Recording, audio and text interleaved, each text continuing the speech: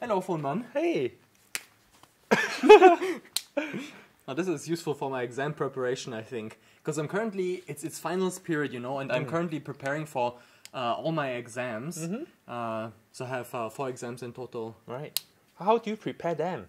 So I mean, usually, of course, I will spend a lot of time studying, and I will just like you know, uh, let my full day, right? Maybe it looks something like this, right? And then so in the morning, I will do uh, three hours for my uh, solar cell module, and then I will do uh, three hours of my uh, structural structural properties module, and then Yeah. the evening I will spend on my uh, GEH module. Ah, I see. So you're saying that you do three hour. Yes. Okay, three hour and maybe another three hour this way, right? Yeah. Like X, Y, Z, and they're totally not related. Yeah, different.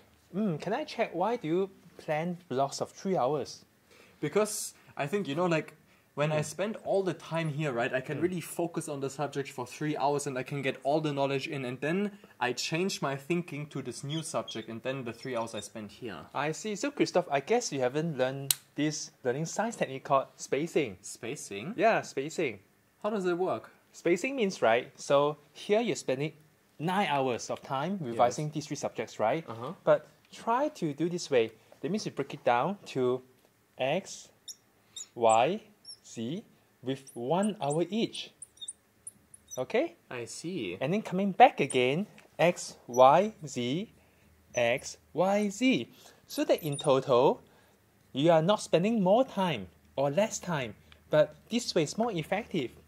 But don't I constantly have to like you know change my mindset here? You know all those changes will it not slow me down and make me less effective in learning? Exactly. In fact, this is very counterintuitive because people think that, right, when they spend like long blocks of time working on a subject matter, they think they're very focused and very concentrated into something, right? That's how I feel. Yeah. Yeah, but do you know that we have our attention span?